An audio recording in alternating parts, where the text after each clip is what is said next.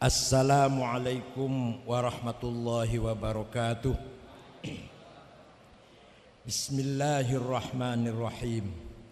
الحمد لله رب العالمين والصلاة والسلام على سيدنا ومولانا وشفيعنا وحبيبنا محمد أفضل الأنبياء وخاتم المرسلين وعلى آله وصحبه ومن تبعه بإحسان من يومنا هذا إلى يوم البعث والدين.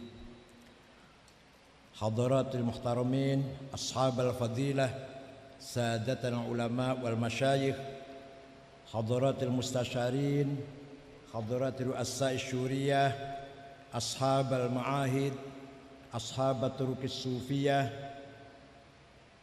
Yang saya hormati senior kita semua Bapak Haji Ahmad mantan wakil gubernur ya wakil gubernur Jawa Tengah dan ketua wilayah NU Jawa Tengah. Atalallahu baqa'ah zuhran lana wal ummah. Juga senior kita Bapak Kiai Haji Ali Mufiz ini juga senior kita semua. Masjid ini dulu dimulai oleh Pak Mardianto tapi diteruskan oleh Pak Yai Haji Ali Mufid. Atalallahu baqa'ah wa azzahullah. Panjang umur fi sihatin daimah. Ketua Dewan Masjid Agung Semarang, anggota DPR dan masih rektor? Mantan rektor Universitas Wahid Hashim sahabat saya Profesor Dr. Nur Ahmad. Ini luar biasa. Jabatannya banyak dan ketanganan semua. Buktinya malam ini juga diurus Atrujul Quran. Bapak yang wakili gubernur atau PLT gubernur Bapak Heru Wakapolda Jawa Tengah yang wakili Pangdam, Ketua DPRD dan seluruh pejabat Provinsi Jawa Tengah, juga Wali Kota Semarang, Kepala BPJS Kesehatan, oh ya, tokoh NU Pak Najahan, Gus Hayatun, Ketua NU Jepara, semuanya para tokoh masyarakat Jawa Tengah sadati wa sayyidati ayul hudur. Alhamdulillah malam hari ini kita diberi kesempatan. Sehat walafiat diberi kesempatan bisa hadir di dalam Masjid Agung Semarang bimuna sabati dzikra nuzuli wahyillah nuzuli khatmi wahyillah ila khatami anbiya'ih Sayyidina Muhammad sallallahu alaihi wasallam. Peringatan turunnya wahyu terakhir kepada nabi terakhir yaitu Nabi Muhammad sallallahu alaihi wasallam. 15 abad yang lalu dunia dalam keadaan jahiliyah. Eh, di sebelah barat ada negara besar punya agama Katolik, punya kitab suci Bible, The New Testament, punya undang-undang. Negaranya namanya Romawi. Tapi ada bagian jahiliyah yang sangat-sangat mengerikan yaitu sistem perbudakan. Rakyat Romawi sendiri yang dianggap budak binatang lebih dihormati daripada mereka. Budak itu boleh dijual, boleh diutang, diutangkan, boleh disewakan, boleh diapa-apakan, dibuang tong sampah juga boleh. Itu manusia badal. Yang lebih ngeri lagi ada tontonan terkenal namanya gladiator. Gladiator itu apa?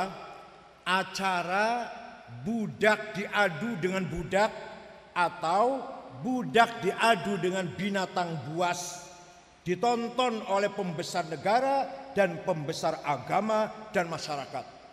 Kalau ada salah satu budak sudah ada yang terkapar, terpenggal kepalanya, tepuk tangan, sorak, gembira ria, berarti acara sukses.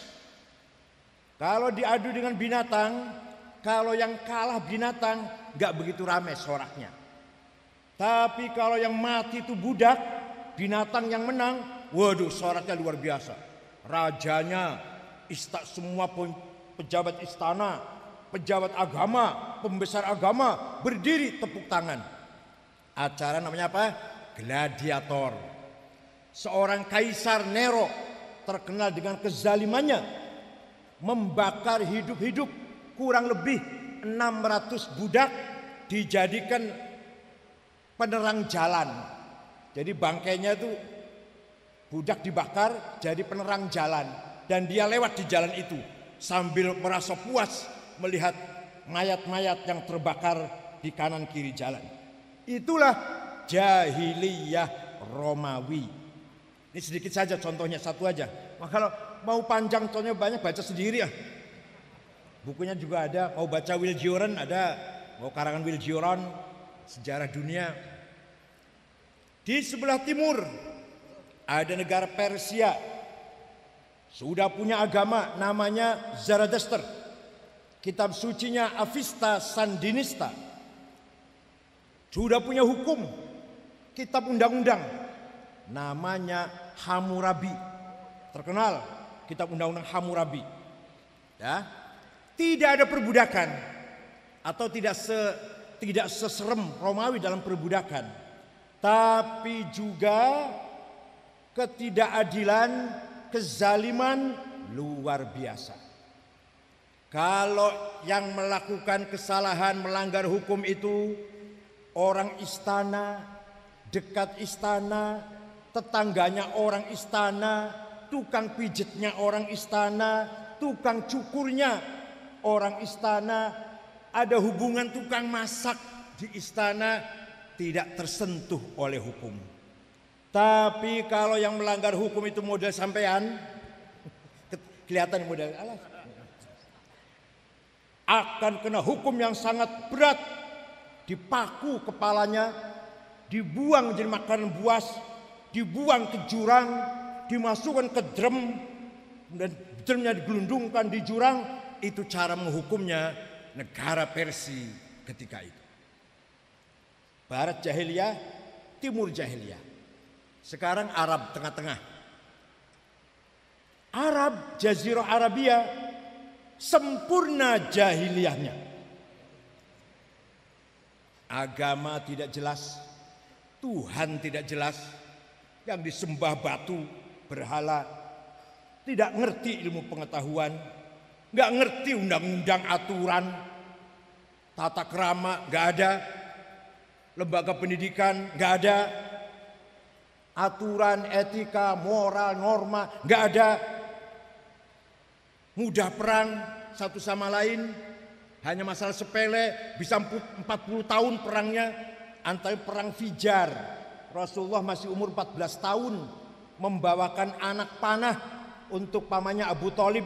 Ketika masuk perang Fijar 40 tahun gara-garanya ada tamu ontanya tamu disembelih dicuri lah kalau kita ada tamu sepeda motornya disembelih apa dicuri.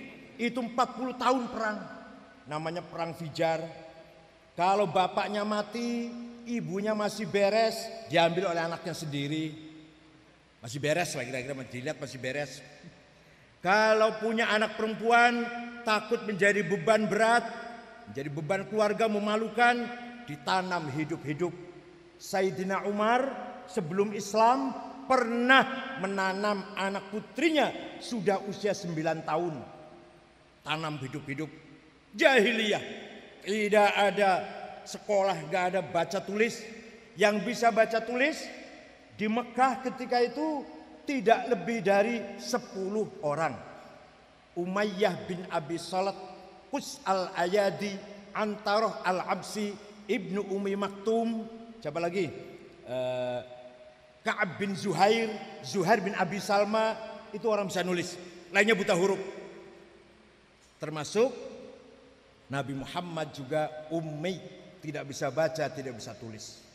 Sebab kalau bisa baca, bisa tulis, Quran yang disampaikan, oh dapat belajar itu, dapat sekolah itu, karangan dia itu. Tapi kan Nabi Muhammad tidak bisa baca, bisa tulis, tiba-tiba menyampaikan kalam yang luar biasa.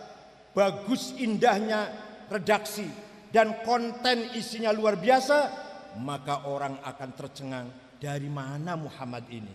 Belajar nggak pernah, sekolah nggak pernah, melancong lama ya tidak pernah.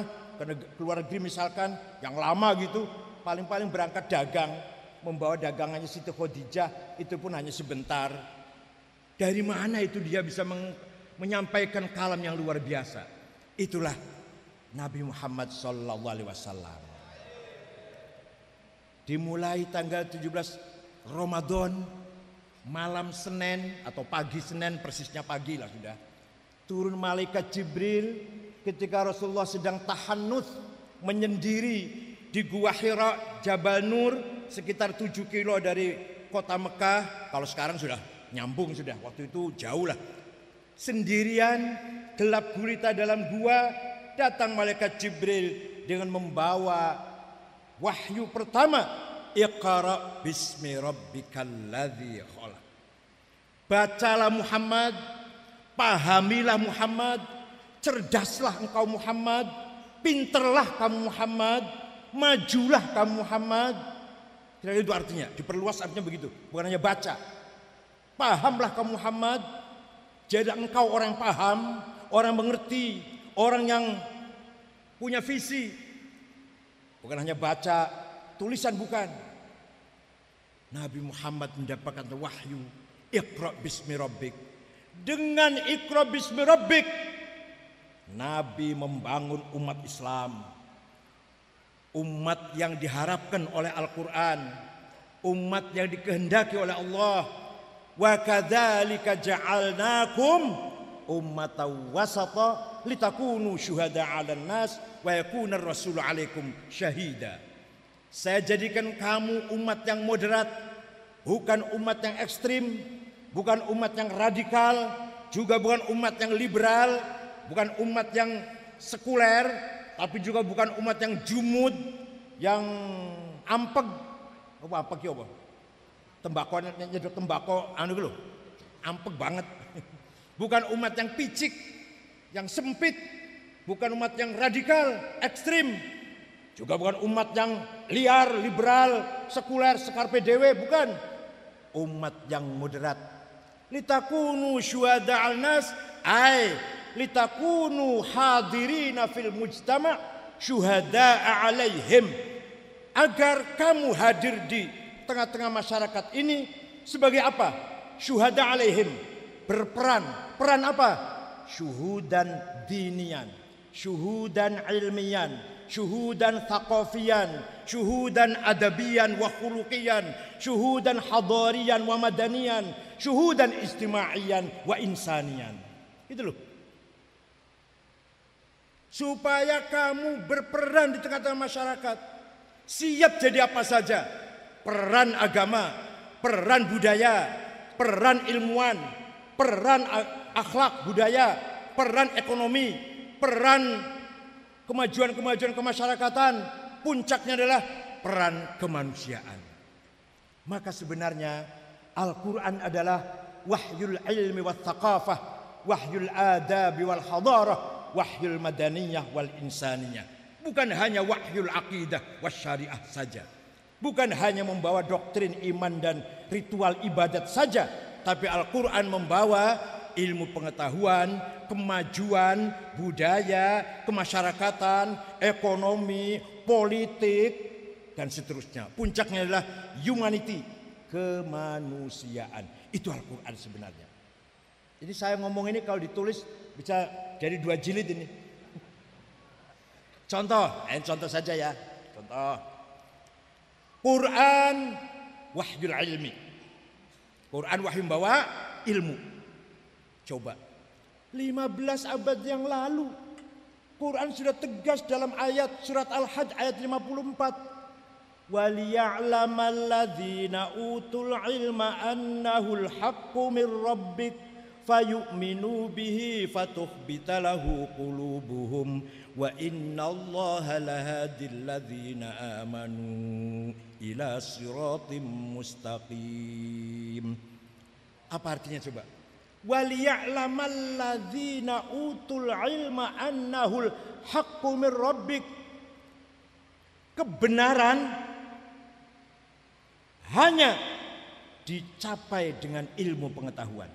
Hanya bisa dicapai dengan ilmu pengetahuan. Alladzina utul ilma, orang yang punya ilmu, itulah orang yang ya'lamul haq, mengetahui kebenaran. Kebenaran apa saja? Kalau sampean petani, berkebun, bertani, harus ikut ilmunya insinyur pertanian. Nek sampean duduk insinyur, meluo ikutilah apa kata insinyur pertanian. Menawi panjenengan bangun masjid, bangun madrasah, bangun gedung, ikut nasihatnya insinyur teknik sipil. Kalau sampean bukan insinyur sendiri, ikut sarannya.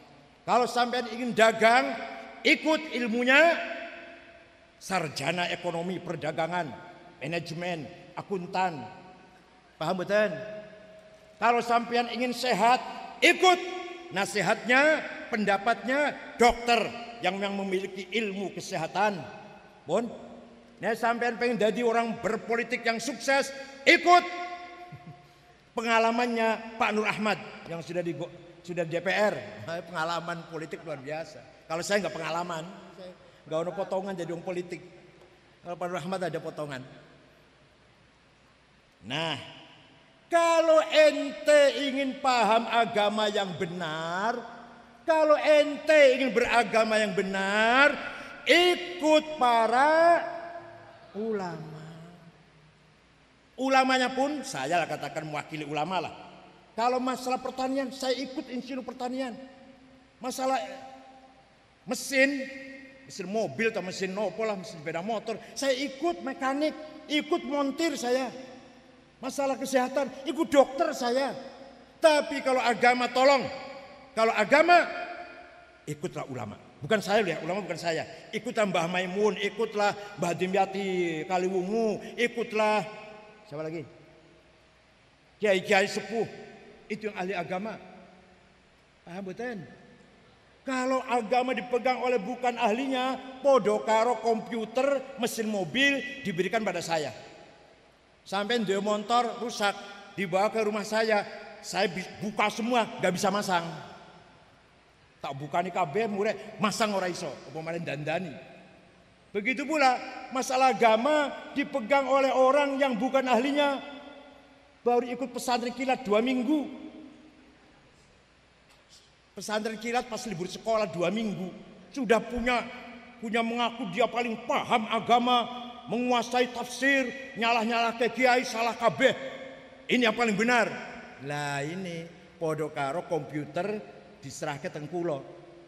Bubar berantakan. Nah, contoh, ini contoh, Pak. Imam Syafi'i siapa? Abu Abdullah Muhammad bin Idris bin Uthman bin Abbas bin Syafi' bin Ubaid bin Musayyab bin Abdul Yazid bin Abdul Muttalib. Nama lengkapnya itu. Lahir di kota Gaza Palestina sing sering dibom Israel dulu. Tahun 150 Hijriah wafat di Fustat, daerah Fustat, Kairo, Mesir tahun 204 Hijriah. Hanya 54 usianya, tua saya. Saya 65. Imam Syafi'i hanya 54. Tidak ada orang usianya pendek tapi jembar, ada orang usianya panjang tapi sempit. Usianya dowo tapi gak ono faedah, faedahnya pas pilkada lumayan suara satu lah. Tapi kalau Pak Ali Mufis itu anu, Pak Gaji Ahmad itu panjang dan berkah itu namanya. Ada yang panjang tapi nggak berkah cuma lumayan pilkada suara satu. satu suara.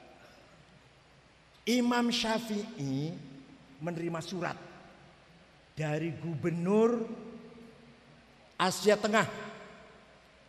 Bahasa Arabnya Asia Tengah itu Mawaro an Nahri, sebelah sananya Bengawan. Ya Afghanistan dan sekitarnya lah. Namanya gubernur itu namanya Abdurrahman Al-Mahdi. Kirim surat. Syekh atau imam, saya ingin paham agama Islam yang benar. Eh, ini gubernur tanya pada Syekh. Sampai yang baru SAG orang belum takut orang kiai. SAG, Masya Allah. Baru SAG orang belum takut orang kiai. Ini gubernur Abdurrahman Al-Mahdi takon tanya kepada Imam Syafi'i. Gubernur loh. Sampai baru SAG kepala Ibdaya negeri sudah belum takon orang kiai. Salah kemudian pakai sudah pakai dasi, wow, sepeda motor, tasnya ecolak atau delsi. Eh ngajarnya pakai terjemahan. Kiai yang pesantren ngajarnya Fatul Wahab, Fatul Muin, macamnya angel niku jamul jawame nganggone sarung. Orang nganggo celana dalam, insyaallah. Sembriwing enak. Imam Syafi'i memanggil muridnya. Namanya Syekh Sulaiman Robi' bin Sulaiman Al-Muradi. Robi sini. Bawa kertas, bawa pulpen ya. Naktub ar-risalah ayu nulis surat bales pertanyaannya Gubernur Al-Mahdi. Yeah. Imam Syafi'i ngendikan imla Imam Robi bin Sulaiman nulis eh surat Imam Syafi'i membalas pertanyaannya Gubernur Abdurrahman Al-Mahdi berjumlah 300 halaman. Itulah yang terkenal dengan Ar-Risalah lil Imam Asy-Syafi'i. Isinya piye isinya?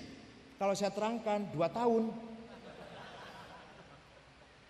Ringkes saja ya. Gubernur, kalau Bapak ingin paham agama Islam, maka pertama harus paham Al-Quran. Al-Quran itu ayatnya bermacam-macam, ada ayat muhkamah yang sudah jelas, nggak usah ditakwil, nggak usah ditafsir. Qul huwallahu ahad, Allahus somad, lam yalid walam yulad dan seterusnya. Udah, nggak usah ditafsiri. Jelas. Ada lagi ayat mutasyabihah harus ditafsiri. Ada lagi ayat Quran itu mutlakoh, absolut, ada muqayyadah, terikat. Ati'ullah wa ati'ur rasul, taatlah kamu kepada Allah dan kepada Rasulnya. Mutlak. Wa ulil amri minkum muqayyad. Taatlah kepada pemerintah kalau pemerintahnya baik. Kalau Allah kepada Rasul mutlak. Nggak ada kalau nggak ada. Nggak ada kalau. Taatlah kepada Allah taatlah kepada Rasulullah tidak ada kalau taatlah kepada pemerintah kalau pemerintahnya baik. Nah itu namanya muqayyad. Ada ayat maknanya hakiki realistis ada yang maknanya majazi metaforis. Ar-Rahmanu alal arsyistawa Gusti Allah lungguh ning aras ongkang-ongkang. Kaya kursi first class ning pesawat apa? Bukan duduk, Mas. Allah menguasai alam dari semenjak aras sampai sampai ujung alam.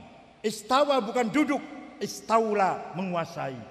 Yadullah fauqa aidihim, tangannya Allah di atas tangannya orang kafir, bukan tangan sama Jawa Tengah di tangan gubernur, ya bukan tangan, masa tangan iki.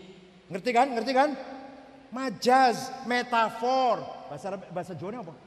Majaz, metafor. Bahasa Jawa Orang sebenarnya lah, orang sebenarnya gitu loh. Oh baik In, uh, Indonesia di tangan presiden. Itu bukan bukan tangan ini bukan. Sama aja, tangan Allah di atas tangan orang kafir kekuasaan Allah di atas kemampuan orang kafir. Ada lagi. Wajah rabbuka wal malaku sofan sofa. Nanti di mahsyar itu malaikat berbaris-baris. Wajah rabbuka Allah datang periksa barisan. Inspektur pacara bendera merah putih apa? Apel apa? Bukan Tuhan yang datang. Wajah rabbuka ay wajah amru rabbik. Perintahnya yang datang. Kullu man 'alaiha yang di muka bumi semuanya akan hancur wa yabqa wajhu rabbika dzil jalali wal ikram yang akan langgeng wajahnya Allah bukan wajah bukan muka zatnya ini loh ngeten iki orang mondok orang iso ya kalau dua minggu pesan kilat terus paham ini durung kira Jangan coba-coba nafsir Al-Quran. Kalau hanya dua minggu pesan kilat. Nah, ada lagi ayat nasikhah yang mendelit. Ada lagi ayat mansukhah yang didelait. Ya Allah nggak sembarangan. Wes, kata Imam Syafi'i, kalau sudah paham Quran seperti itu belum cukup. Harus paham hadis. Harus paham apa? Hadis Nabi itu ada empat grid.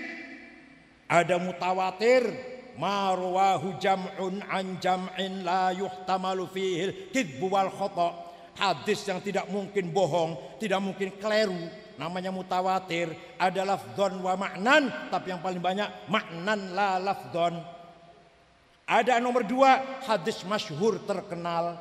Nomor tiga hadis aziz yang baik. Nomor empat yang paling rendah hadis ahad yang rawinya yang meriwayatkan satu dua orang. Dah, kenapa harus pakai hadis? Nah, dengarkan bu, mumpung ketemu dengan saya, dengarkan. Di Quran itu perintah sholat berkali-kali sampai 62 kali. Aqimus sholah, aqimus sholah, aqimus sholah. Yang yang tidak sholat masalah kakum fi sakor. Kenapa kamu masuk neraka sakor? Qalu lam nakuminal musallin. Karena saya tidak sholat. Jangankan tidak sholat, ngeremehaken salat fawailul lil musallin alladzina hum an salatim sahun ngremehke salat masuk neraka wel penting sekali salat itu rukun Islam nomor dua salat itu begitu pentingnya salat segitu pentingnya salat dalam agama Islam Quran memerintahkan sampai 62 kali tapi Quran tidak menjelaskan Berapa kali sholat itu? Namanya apa sholat itu? Ada nggak di Quran? Tenan? Orang tahu baca Quran? Baca Quran kulhu kalau falak nas, al-fatihah, ayat kursi, ilmu samawat, dari Allah Muhammad, pulang bawa berkat. Tapi penting, berkat penting. Oh, berkat penting. Kulo iso samena karena sejak kecil makan berkat kalau bapak kulo. Paham betul? Quran itu buatan jelasakan Sholat iku ping limo. Gak ada. Namanya zuhur, asar, maghrib, isya, subuh. Betul wonten. Ini Quran betul wonten. Wonten betul. Sing sing tahu maca Quran weruh. Sing ora tahu ya enggak roh. Jadi jangan gampang-gampang. Mari kita kembali kepada Quran. Eh, eh, eh, eh, eh. ngerti orang yang ngomong ngono Apa artinya ngono Mari kita kembali pada Quran. Segalanya ada di Quran oh segalanya ada. Wong sholat ping limo ya orang ning Qur'ane kok. Jenenge duhur, asar, maghrib, isya, subuh ora ono ning Qur'ane ngono kuwi. Nah, adanya dalam hadis qala Rasulullah sallallahu alaihi wasallam furidat alaikum khamsu maktubat diwajibkan kepada kamu sekalian lima waktu. Namanya sholat itu apa? Al-zuhur, wal asr, wal maghrib, wal isya, wal fajr. Quran apa hadis? Jawab, Quran apa hadis? Bukan Quran. Quran tidak menjelaskan sholat berapa kali. Quran tidak menjelaskan nama sholat gak ada di Quran. Hadis itu. Oleh karena itu hadis harus dipahami, bukan hanya Quran. Kata Imam Syafi'i, bukan kata saya bukan. Aku sih sopo aku. Nah, wis Quran, wis hadis belum cukup Kata Nah, bukan kata saya bukan. Kata akal harus dipakai. Apa? Kalau Syafi'i itu akal harus dipakai. Nah, akal ada dua. Ada akal kolektif rame-rame namanya ijma apa? Konsensus kesepakatan. Contoh, prakteknya sholat rukunnya sholat, syarat sahnya sholat, itu hasil ijma. Orang kalau mau sholat syaratnya harus Islam, baleg, berakal, suci dari hadas besar, hadas kecil, suci badan pakaian dan tempat dari najis, harus sudah masuk waktu. Wonten tentang hadis yang wonten. Itu adalah kesepakatan ulama empat. Sudah empat sajalah, gak usah banyak-banyak. Imam Hanafi, Imam Malik, Imam Syafi'i dan Imam sepakat sholat sahnya seperti itu. Rukunya ada tujuh belas. Arkanus sholati sab'ata asyar. Rukunya sholat ada tujuh belas. Takbiratul ihram, an-niyah, al-qiyamu liman istata'a, al-qira'atul fatihati fihi, ar-ruku, at-tuma'natu fihi, al-i'tidal. Rukunnya sholat komponen ada ono pitulas, takbiratul ihram, niat, berdiri bagi yang mampu, maca fatihah, ruku. Ada di hadis begitu. Ya mbong tahu-tahu maca hadis. Maca hadisnya nang kalender tok, nang kalender rawahu kalender. Rawahu almanak. Gak ada pak. Di hadisnya betul wonten. Itu dari mana? Kita sholatnya, samain sholat dulu. Ngene, ngene. Dari mana itu? Dari, ayo jawab. Dari ijma'ul. Nah, kalau kita Indonesia dari Imam Syafi'i. Udah kita Indonesia. Imam Syafi'inya dari mana? Dari gurunya Imam Malik. Imam Malik dari mana? Dari gurunya Imam Robi'ah namanya. Laki-laki Robi'ah tuh. Imam Robi'ah dari mana? Dari gurunya Imam Khorijah. Imam Khorijah dari mana? Dari bapaknya Sayyidina Zaid bin Thabit. Sayyidina Zaid dari siapa? Dari Rasulullah sallallahu alaihi wasallam. Sahabat kok. Imam Syafi'i bisa sholat kayak gitu dari gurunya Imam Malik. Imam Malik dari gurunya Imam Robi'ah. Imam Robi'ah dari gurunya Imam Khorijah. Imam Khorijah dari bapaknya sahabat Zaid bin Thabit. Sahabat Zaid dari mana? Rasulullah SAW.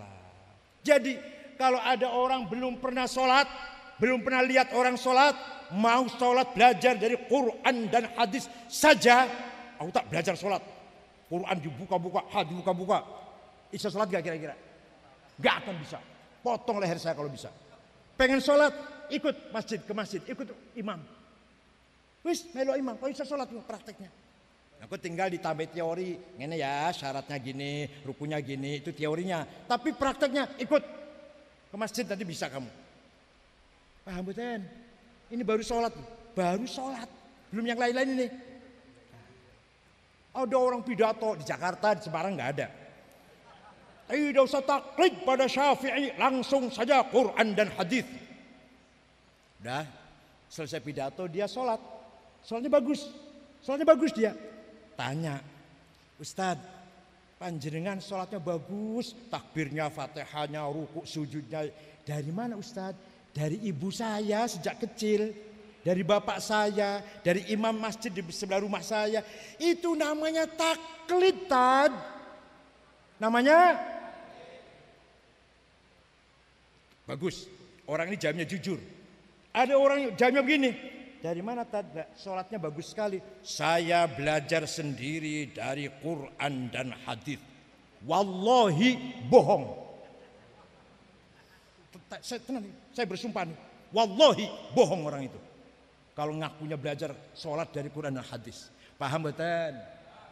Harus belajar ikut seseorang kiai, ikut kiai, kiainya dari kiainya, kiai dari gampang wis, ikut misalkan Kiai Maimun atau Kiai Dimyati Kaliwungu, dari gurunya Kiai Mahrus, dari gurunya Kiai Hashim Asy'ari, dari gurunya Kiai Khol Madura, Khol dari Syekh Nawawi Banten, Nawawi Banten dari Mahfud Termas, terus sampai Ahmad Khotib Sambas, Yusuf Makassar, Asyad Banjarmasin, Abdul Somad Palembang, guru-gurunya beliau semua, mentogen Imam Syafi'i.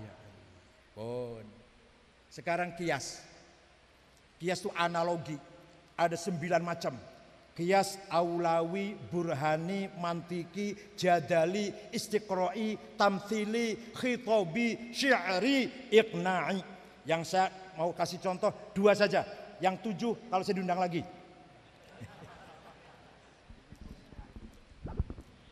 Kias burhani. Kias apa? Kias fakta. Ayo apa? Sabu-sabu, ekstasi, ganja, haram nopo halal? ono ning Qur'ane haram. Inna sabu sabu haram. Wonten ayat Quran wonten. Ono hadise qala Rasulullah al ganja haram rohul Bukhari. Wonten. Dakwah haram. Dikiaskan kepada khomer. Khomer ning Quran haram.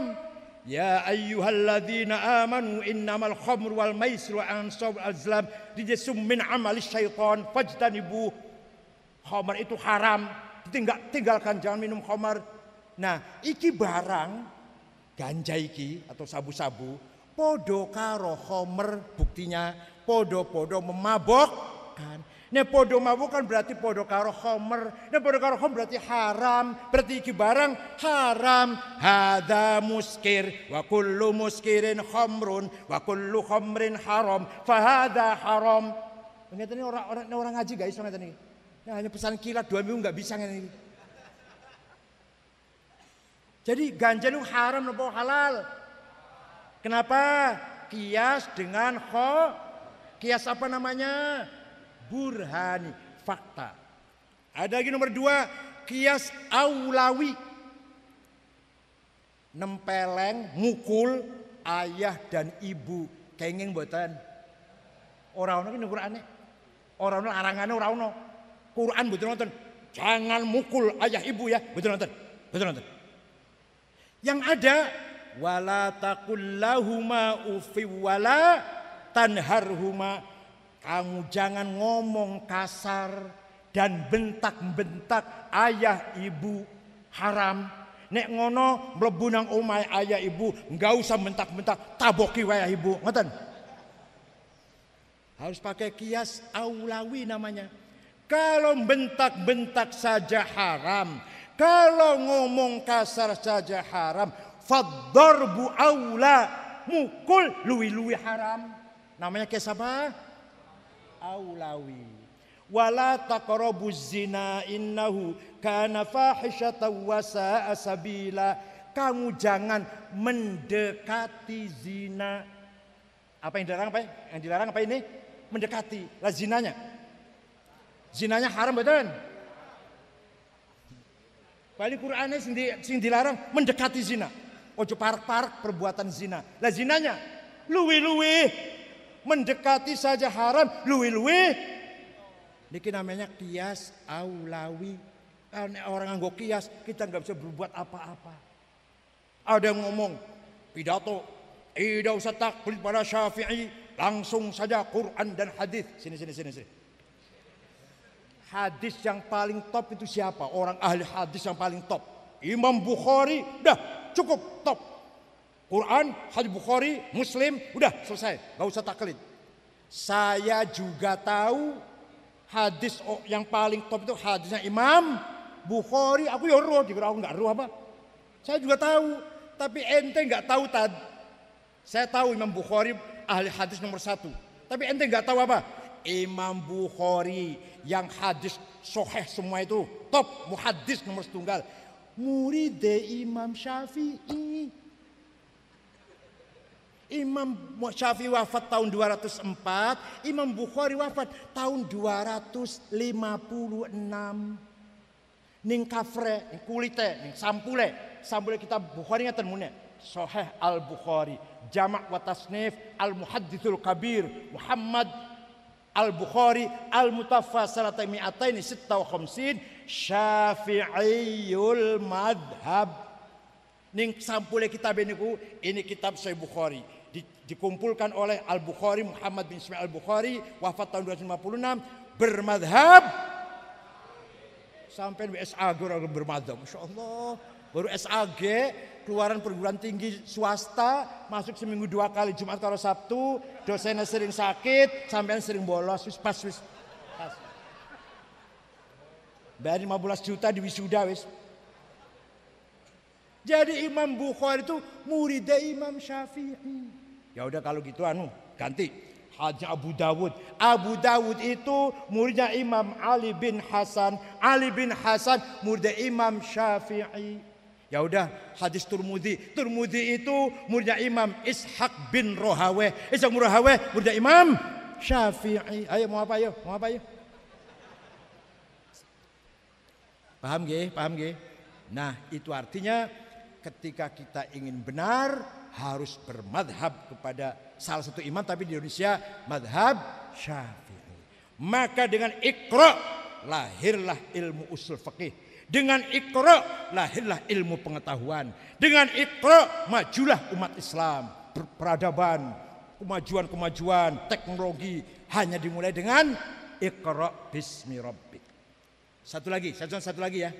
Satu lagi saya contohnya atau dua lagi. Imam Abdul Hasan Ali Al Ash'ari wafat tahun 324.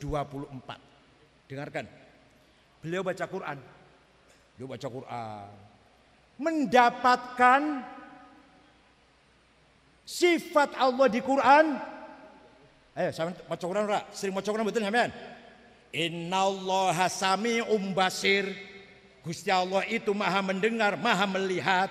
Innallaha ala kulli syai'in qadir. Allah maha kuasa segala sesuatu. Innallaha bi kulli syai'in alim. Maha mengetahui. Hayyun qayyum. Rahman rahim. Ngoten? Maha belas kasih, Ghafur Rahim, Maha pengampun, Hayyun Qayyum, Maha hidup. Wes, paham? Maha mendengar, Maha melihat. Pun tidak ada sifat wujud. Jadi Quran betul Allah itu ada. Betul wonten ayat wonten niku. Aku ngomong karo wong ora tau maca bingung ah. Saya ngomong karo sampean, sampean ora tau maca Quran bingung ngene iki. Quran niku betul wonten Bu. Ayat mune ngeten. Allah itu ono. Betul wonten ayat wonten niku.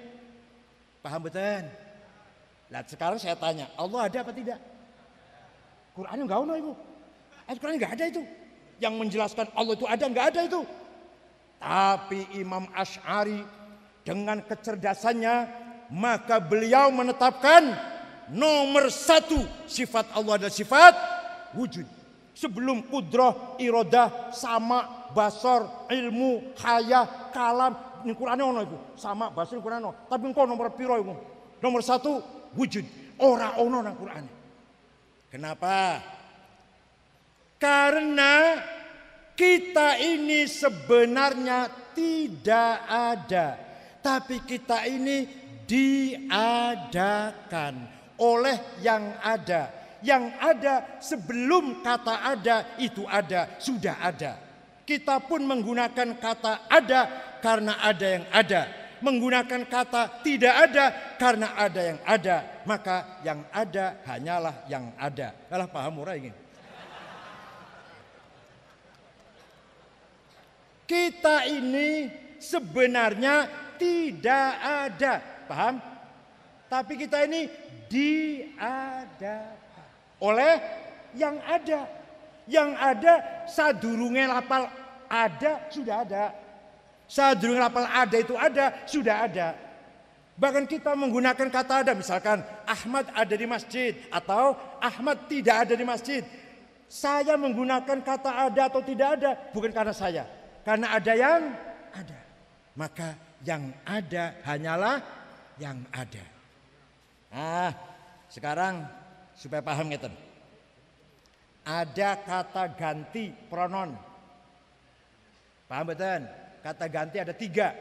Bahasa Arab ya, bahasa Arab. Ana aku. Anta engkau. Huwa dia. Nah, silahkan dipakai. Silahkan. Ana Said. Ana Toto. Ana Abdullah. Ana Sukardi. Ana Solihin. Silahkan. Gitu kan? Ana Zainab. Ana Fatimah. Monggo, monggo dipakai. Monggo. Silahkan. Tapi nanti akan mati semua. Mati semua tidak? Tinggal anak satu yang tidak mati. Tinggal aku satu yang tidak mati. La ilaha illa ana fa'budni. Tidak ada Tuhan kecuali anak, kecuali aku. Mati kabeh aku Ahmad, aku Toto, aku Said, aku mati kabeh, aku Zainab, aku Maryam, wis ora ono kabeh. Tinggal aku, Allah yang ada. Artinya La ilaha illa ana. Artinya la wujuda illa ana. tidak ada yang ada kecuali aku. Artinya la ana illa ana tidak ada aku kecuali aku. Alah paham ora iki? Lah aku Ahmad aku pinjeman. Kita dipinjemin menggunakan kata aku. Aku Said. Pinjem niki berapa tahun maunya? Kan maunya berapa tahun dipinjemin? Hak guna usaha HGU, HGU. Silakan pakai aku, silakan dipakai. Aku Said, aku Ahmad, aku Toto. Pirang tahun maunya? Jawab, pirang tahun maunya? Rongatus tahun. Walah. Rongatus tahun, gak usah rongatus tahun. Sangang puluh, iku anak cucunya sudah kapan be orang mati-mati gini. Capek nuntun nang kolah, capek ngundang dokter, capek ngeroki punggungnya, capek mijetin, ngomong si ora tapi nang jeratin yakin gue yang ngono. Mbak orang mati-mati. Jadi kita dipinjemin aku. Kalau mati semua, tinggal aku satu yang tidak mati. Aku Al. Begitu pula engkau. Engkau Ahmad, engkau Toto, engkau Abdullah, engkau siapa lah, engkau Solihin, engkau Maryam, engkau Evi, engkau uh, Eli. Mati semua. Tinggal engkau satu yang tidak mati. La ilaha illa anta subhanaka inni kuntu minadh. Tidak ada Tuhan kecuali anta Artinya tidak ada yang wujud kecuali anta. Artinya la anta illa anta. Tidak ada engkau kecuali engkau. Paham? Begitu pun nanti huwa. Jadi hakikate, hakikate aku, engkau, dia siapa? Jawab. Siapa? Hakikate aku sobo. Hakikate engkau sobo. Hakikate dia siapa? Maka yang ada hanyalah aku, engkau, dia, Allah. Dengan demikian Imam Ash'ari berani mengatakan sifatnya Allah nomor satu sifat wujud. Nomor dua, nomor tiga, nomor empat, nomor lima, nomor enam, wahdaniyah, nomor tujuh, kudrah dan seterusnya. Alhamdulillah, apal ya apal ini. Ahli sunnah, ahli sunnah. Ayo, jenengan mantep buatan melo Imam Syafi'i, mantep buatan melo Imam Ash'ari. Yakin mantep? Ojo ucul, awas. Engko turun-turun terus melo HTI lah, insyaallah. Enggak mutu blas. Si mana?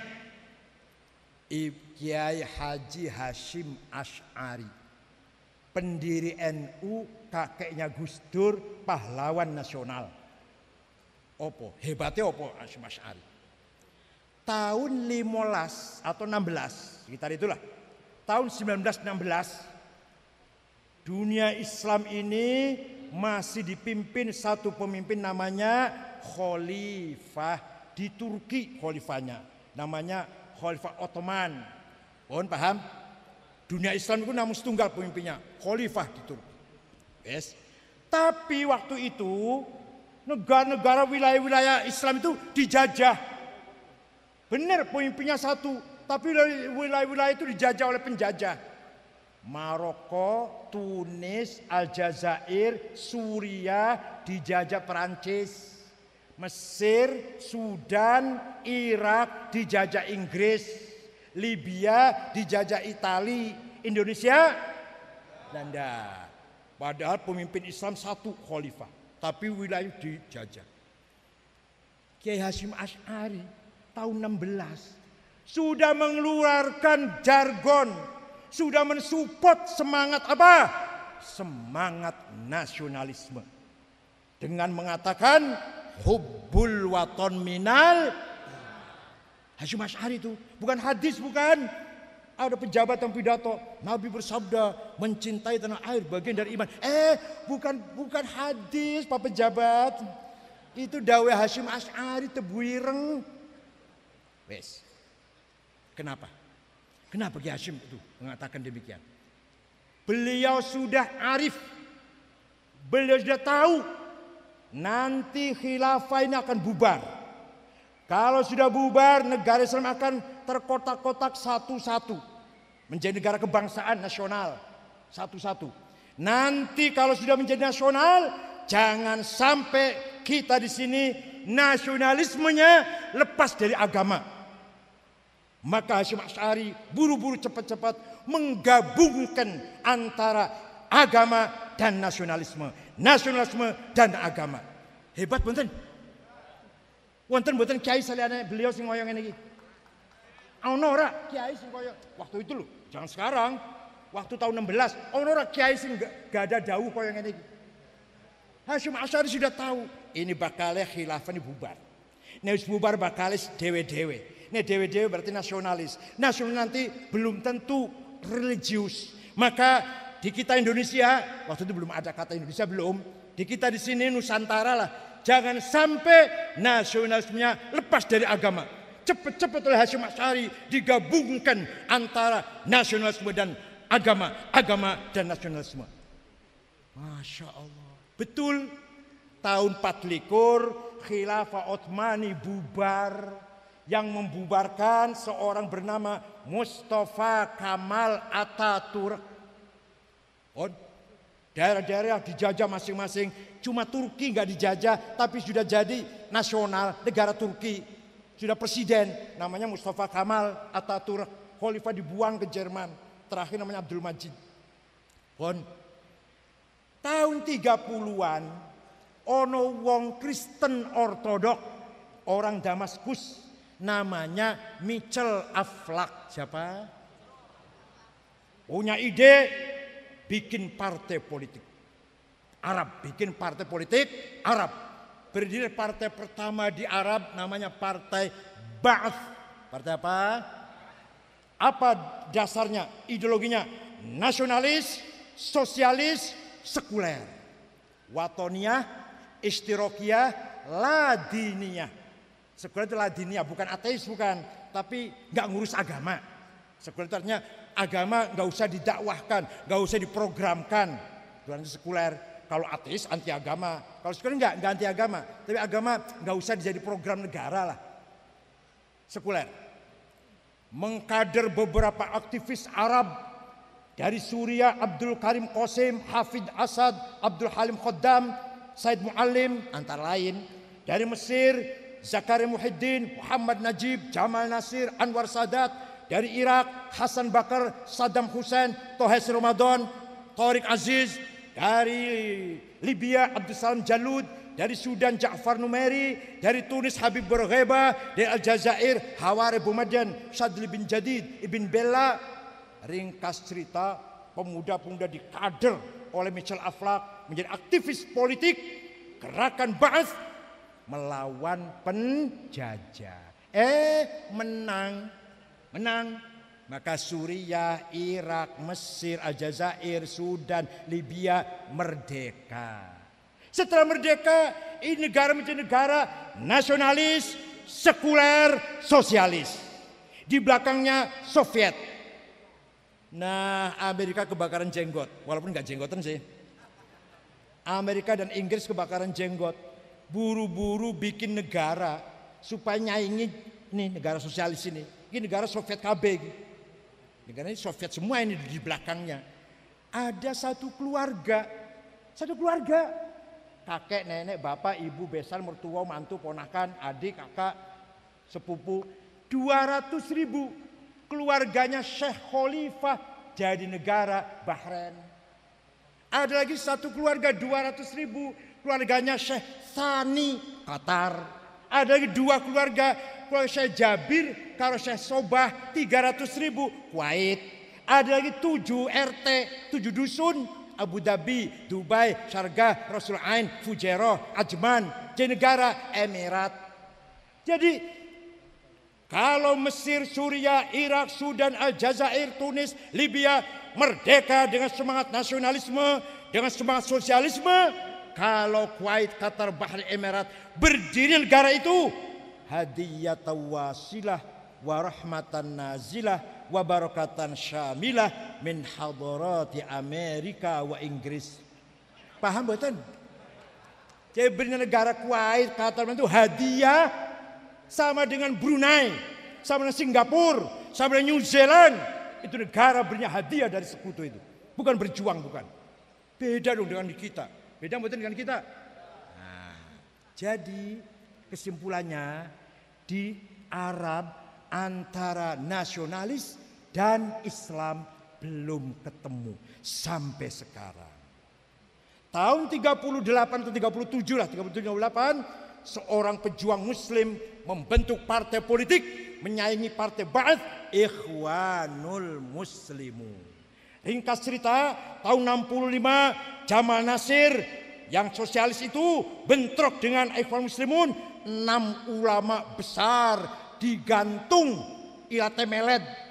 Ilate njolo digantung di Medan Tahrir. Said Kutub Ashmawi Zaki Muhandis Umar Tilmisani Al Hudebi ulama besar digantung ditonton rakyat. Itu. Kalau dia bentrok di Arab itu. Hafid Asad pernah membakar satu kota Halab Aleppo Aleppo Halab mati semua satu kecamatan itu.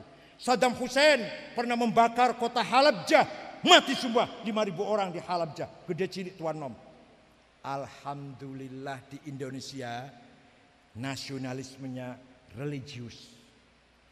Agamanya Islam, semangatnya nasionalis. Paham betul? Dasarnya Pancasila. Ada yang salah paham atau nggak mau paham. Dikira kalau Pancasila itu ganti agama, boten mas. Agama Islam tetap Islam, hanya kita dalam bernegara berbangsa ini dasarnya adalah panca. Silakan sampean sholat limang waktu. Masih kurang. Qobliyah ba'diyah. Masih kurang. Duha masih kurang. Qiyamul tahajud witir. Masih kurang. Sholat hajat. Apa terkurangi terganggu oleh Pancasila Sampean poso Ramadan masih kurang enam hari ketika Syawal, masih kurang Senin Kemis, masih kurang poso Asyura, poso Rojab, nisfu Sya'ban, masih kurang puasa Nabi Dawud, sedino poso sedino ora. Apa terganggu oleh Pancasila? Sampean zakat, infak, sedekah, jariah, hibah, wakaf, nazar, fidyah terganggu oleh Pancasila?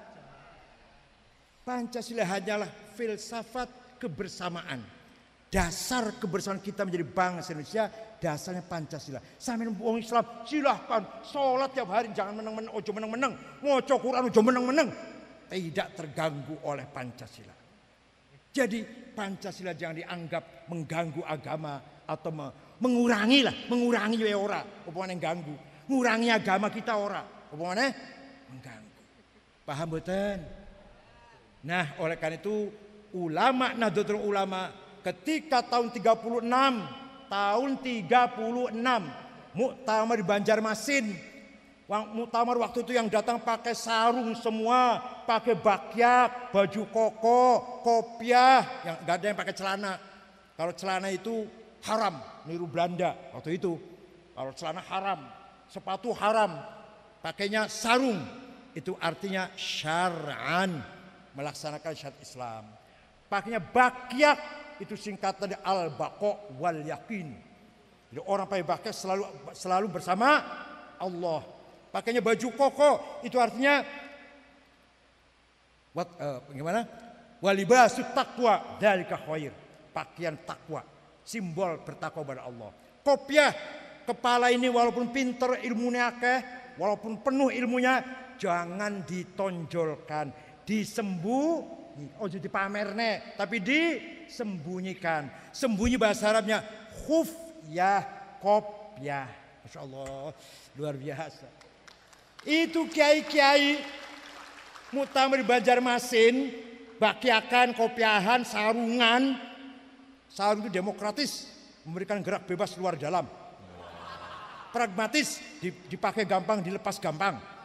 Makanya kalau kiai pakai sarung anaknya 12, delapan. Kalau pakai celana paling dua anaknya. Ya, Wakapolda pintar kali. Ya, ini kan pakai celana. Kecuali kalau malam pakai sarung, lalu banyak nanti. Ekonomis, gak usah dilondret, gak usah dilondri. Kalau sarung, pragmat. ISIS semeriwing, wes masya Allah. Kaum sarungan, bakyakan, kaum pakai kopiah, pakai koko, apa keputusannya di Banjarmasin? Keputusannya Indonesia Darussalam, bukan Darul Islam. Darus negara yang damai, bukan negara kafir, bukan negara perang musuh Islam, tapi bukan negara Islam, negara yang semua penduduk Nusantara saudara kita semua. Maka NU tidak punya musuh. Ketemu karo podo Islame dari mana Pak? Min aina anta? Ana min Saudi. Saya dari Saudi. Islam. Saudara saya. Ukhwa Islam. Eh ketemu karung Batak, Kristen, Papua, Katolik, eh, apa? Bali, Hindu, saudara saya sebangsa tanah air. Eh ketemu karo menuso, sadurunge ruh jenenge sopo dari mana? Saudara saya podo-podo tuh Nabi Adam. Ukhwah insannya. Jadi NU tidak punya musuh. Musuhnya cuma satu. Seperti Nabi Muhammad mengatakan setiap khutbah Jumat Atsaniyah, khutbah yang kedua pasti pesan begini. Wala udwana illa 'alal zalimin. Tidak boleh ada permusuhan kecuali kepada orang yang melanggar hukum. Kalau melanggar hukum itu musuh kita. Ayo kita hitung, kita hitung ya. Teroris musuh kita bukan? Walaupun atas nama Islam, bahkan mencoreng nama Islam. Eh, di Quran itu memang ada ayat perang. Ayat sekarang lagi perang apa buatan? Laku dingguat perang. Falladzina ukhrij falladzina hajaru wa ukhriju min diyarihim wa udhu fi sabili wa qatalu wa qutilu la ukaffiranna anhum sayiatihim wa la udkhilannahum jannatin tajri tahtiyal anhar. Barang siapa keluar dari rumah membunuh atau terbunuh, membunuh dan terbunuh masuk surga dijemput bidadari. Eh, masuk gereja bawa bom. Eh, di Quran ada ayat perang. Sekarang lagi perang apa tidak? Nah, kalau tuh lagi perang, perang Badar, perang Uhud, perang Ahzab, perang Fathu Makkah. Inginnya, targetnya, tujuannya menang. Kanji Nabi berudah perang, perang Badar. Tujuannya menang, bukan mati, bukan. Bukan mati tujuannya, menang. Kalau menang Islam syiar kan gitu. Kok malah gawa bom dewe mati dewe po dewe. Mati karpe dewe. Namanya ngoten niku jihad boten. Kalau betul jihad menang targetnya, bukan mati. Nggak ada itu. Eh, saupomo kau mati tujuan Kanjeng Nabi, Abu Bakar, Umar, Uthman, Ali, Sa'ad, Sa'id, Tolha, Zubair, Abdul bin Auf, Amr bin Jarrah, budal perang, gue bom kabe mati kabe wis. Wis orang Islam bakal Orang Islam wis mati kabe wis. Jadi tujuannya perang supaya hi supaya menang dan hi hidup. Ya Allah, mau mati tujuannya perang. Hidup menang tujuannya perang itu. Eh, kudu-kudune mati syahid. Betul lho kudu-kudune. Bukan pilihan bukan, terpaksa kau mati syahid. Ngoten nggih? Wis. Kemudian madhab Asy'ari. Madhab siapa? Madhabnya Nahdlatul Ulama Sunnah Jamaah tidak boleh mengkafirkan orang yang mengatakan la ilaha illallah. Orang yang masih sholat madepnya kiblat ke Ka'bah tidak boleh dikafirkan. Walaupun dia pelaku dosa besar. Dosa orang yang melakukan dosa besar tidak kafir, hanya asin, mukminun asin, orang mukmin yang maksiat. Nah mereka mengkafirkan semua orang, DPR kafir, polisi kafir, negara kafir. Ya Allah, dari mana ajarannya itu? Imam siapa itu yang diikutin? Nabi Muhammad pernah tak ngafirkan uang semua orang semuanya? Sayyidina Umar sing galak wae galak Sayyidina Umar galak, nggak pernah mengkafirkan orang. Ketika masuk Palestina, Sayyidina Umar disambut oleh pendeta jenenge Sofrinus. Kemudian diajak jalan-jalan. Masuk gereja, karena baru tahu gereja. Baru tahu yang namanya gereja. Masuk gereja, adzan asar, Sayyidina Umar keluar sholat di luar. Ditanya, kenapa nggak sholat di dalam saja kok keluar? Saya sholat di luar karena saya khawatir kalau nanti umat Islam akan merebut gereja ini, alasannya bekas sholatnya Umar. Dia menghindari itu. Paham betul? Sayyidina Umar mau sholat di dalam gereja. Alasannya takut, khawatir kalau umat Islam nanti merebut gereja iki. Alasannya bekas sholatnya itu yang ditakuti umat. Ya Allah. Kanjeng Nabi menerima hadiah dari gubernur Mesir yang agamanya Kristen Ortodok Koptik. Hadiah apa hadiah? Kuda besar, keledai yang kecil dan perempuan cantik namanya Maria Al-Qibtiyah. Diterima kanjeng Nabi, dinikah. Gak ada putra Ibrahim tapi wafat masih kecil. Masya Allah hubungan antara Islam dan Kristen baik sekali harmonis sekali. Paham bukan? Ketika perang salib Salahuddin Al-Ayubi dari Mesir. Perangnya dengan Romawi. Tidak perang dengan orang Kristen di Mesir, orang Kristen di Syria, orang Kristen di Palestina. Tidak diperangi oleh Salahuddin Ayubi. Yang diperangi yang musuhin yaitu Kristen Romawi waktu itu. Namanya perang salib. Salahuddin Ayubi dari Mesir berangkatnya memimpin perang. Kristen Mesirnya gak diganggu. Kristen Mesirnya itu. Kristen Suria gak diganggu. Kristen Palestina tidak diganggu. Ya Allah. Orang tahu mau sejarah ya Allah. Aku ini orang ngerti orang tahu mau sejarah. Paham betul? Itulah berangkat dari Iqra bismi. Islam membangun peradaban, Islam membangun ilmu pengetahuan, Islam membangun masyarakat, Islam membangun kemajuan. Maju di bidang politik, maju di bidang ekonomi, maju di bidang ilmu pengetahuan, maju di bidang budaya, maju di bidang seni dan olahraga. Berangkat dari Iqra bismi rabbik. Sekian, mudah-mudahan ada manfaatnya. Syukran wa dumtum fil khairi wal barakati wan najah.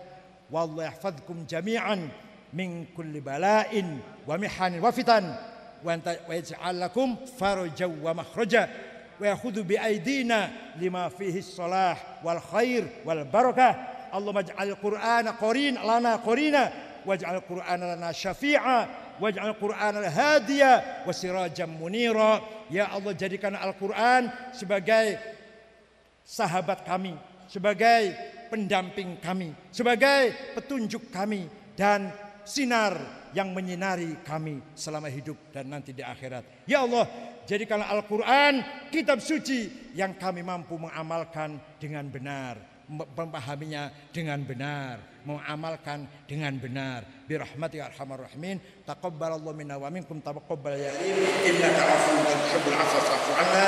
Inna salatuka wal jannata min sakhatika wan nar wa huwal muwaffiq ila aqwamit thariq. Wassalamu alaikum warahmatullahi wabarakatuh.